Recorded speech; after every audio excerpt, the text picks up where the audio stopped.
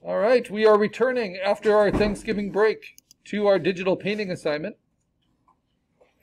So I'm going to go under assignments, scroll down to assignment 7, where we post it.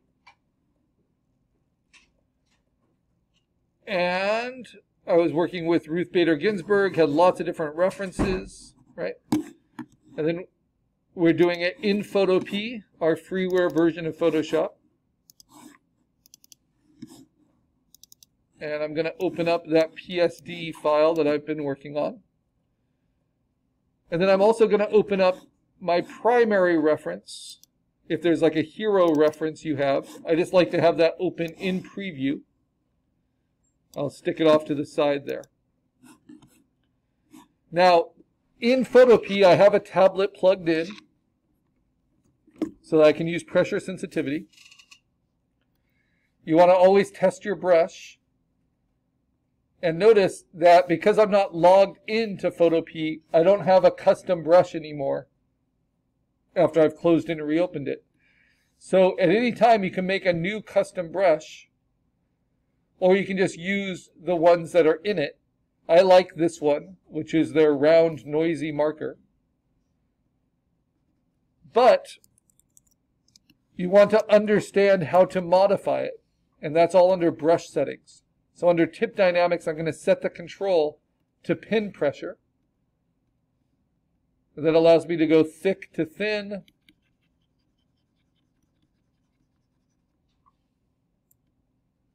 And the harder I press, the more opaque it is as well. So that's the only modification really I've made. I can play with the jitter of the roundness. Its size jitter a little bit maybe. But this is more for refined painting like I've been doing. And you set up your file. We're doing 11 by 14 inches at 350 pixels per inch. So that we spend all this time digitally painting, we're going to get something that gives us a nice a nice printout at the end. But right now it still just looks like a lot of pixels layered on top of each other.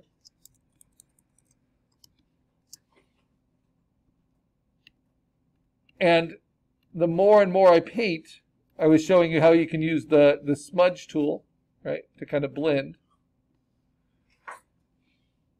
I'm just going to keep building with refined paint. And I could do it on just limited layers, or I can lock all of these layers and create a new refined paint layer on top.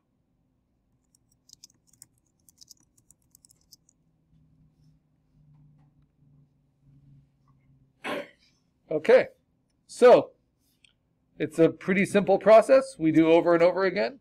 I like to have the navigator turned on under Window, Navigator. You'll see it here as a little compass. And I like to steal colors from my different references.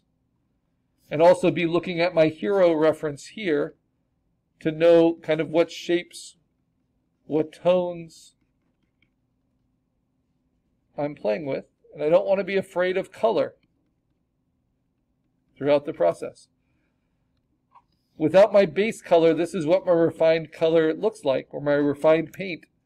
And so obviously I need to cover a lot more of it to bring everything up to the same kind of level. And so that will be my first task. Not to get stuck in any area of detail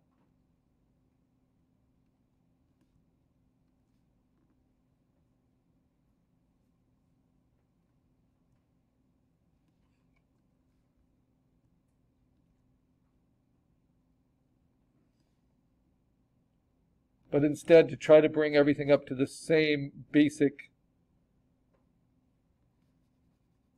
handling before I move on.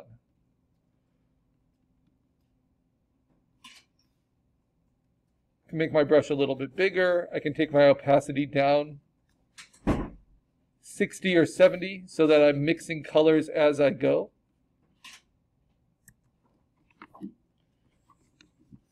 And I'm just staying on the brush tool.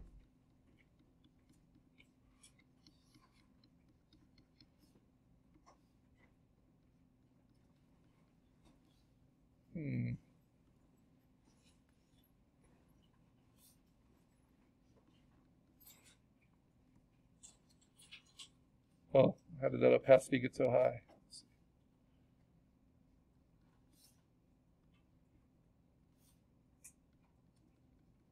There we go. That's more what I want.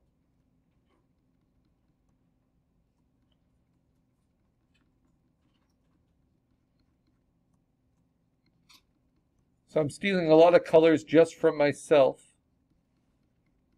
And I'm trying to, as I've been saying the last videos before the break, I try to use the direction of my paint strokes to describe the surface of the subject matter I'm painting. So in this case, the face I try to flow the brush strokes along the, the shape of the face.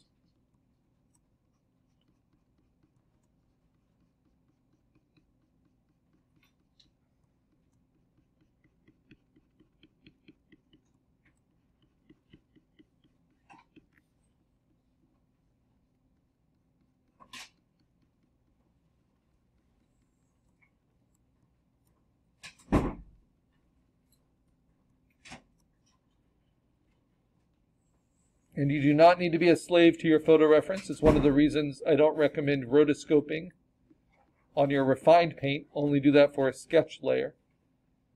So for instance, I don't want to show the mouth open because I know from experience that like digitally painting teeth takes a lot of time and nuance that I don't really want to have to deal with. And I think I can get the same kind of impression, maybe even a better impression, having her lips just kind of gently together and I can also upturn her lips as I've done slightly to change her expression. So that she's smiling a little bit. Always nice. And then I'm not using my eraser at all. Instead, when I want to replace something that's there, I just find a new color to paint over it.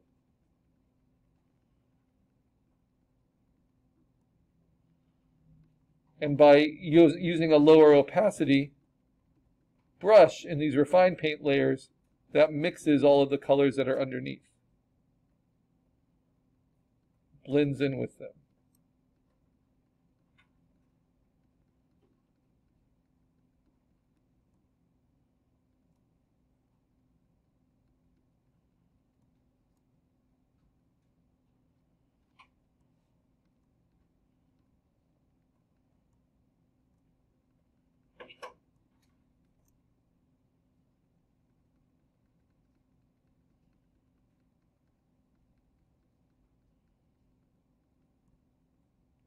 So whether you make your own brush or you use the existing brushes, just make sure you play with the brush dynamics so that it's predictable in the way you're using it.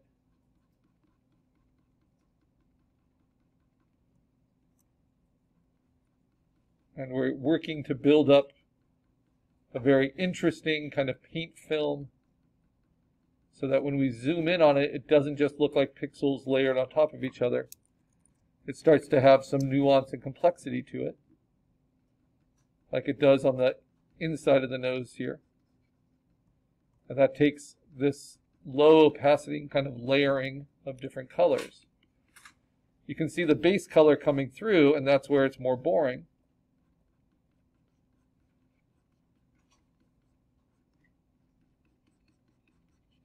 And then the navigator is nice because you can always see the whole picture there kind of see where you are in the, the big picture of everything.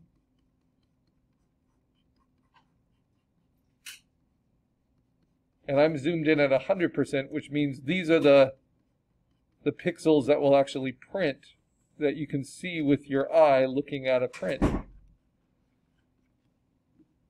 I'll sometimes even go into 200%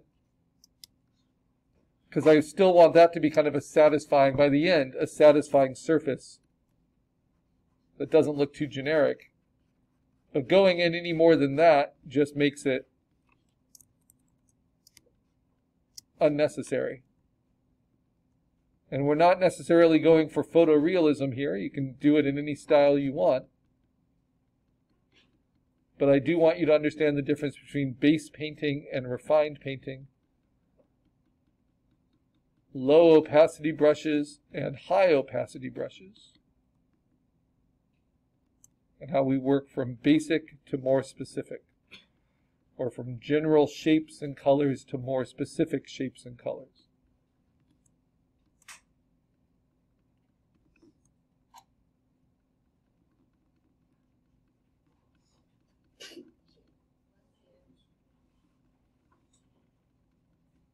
Yeah, I'm wearing a mask today because I got got a cold from my kids.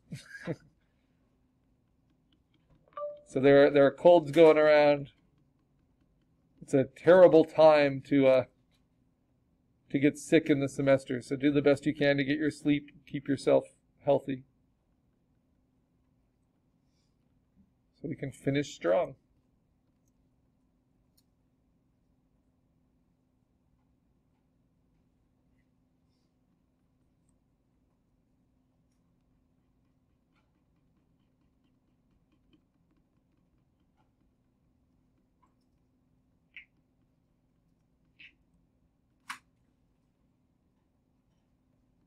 Now I get seduced into doing little details like around the eye because they're a lot of fun. But this reminds me there's a lot I need to do that I haven't even touched the refined paint for yet. So you gotta sometimes move around to places that aren't as much fun. And that's more of kind of just the discipline of painting.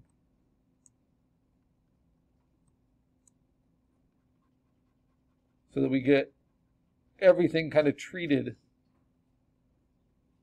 equally. Otherwise, what our audience notices are the, the weakest parts.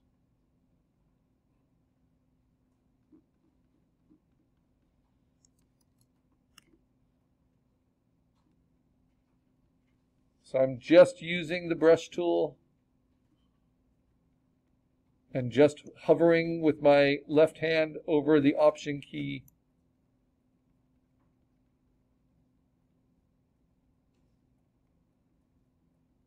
just to steal colors.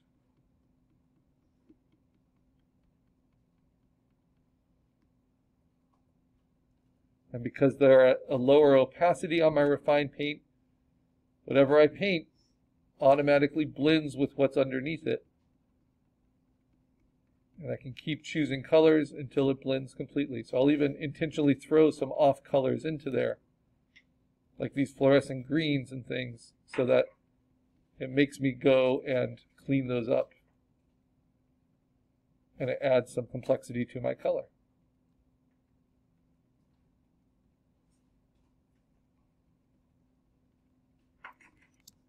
I'm using a, a technique of, of modeling called hatching, so lots of linear directional marks. So I try to keep that direction going with the face. I'm using warm colors and cool, cool colors overlapping each other. And it has to do with some of my influences, right? Like these kind of strong color combinations. If you want to make your navigate a little bit smaller, oh, I wish you could you can click just on your browser and then shrink those tools with Command minus. So you have more area for the painting and more area to steal from your references. Or take colors from your references. It's not quite stealing.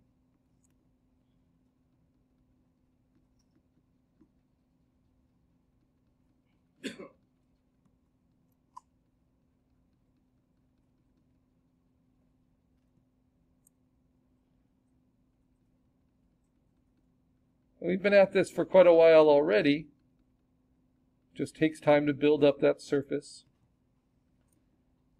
But you'll get to places, like I think I've gotten to it on the underside of the eye here, where you've kind of hit upon the level of finish that you want. And now you're just trying to bring everything else up to that level.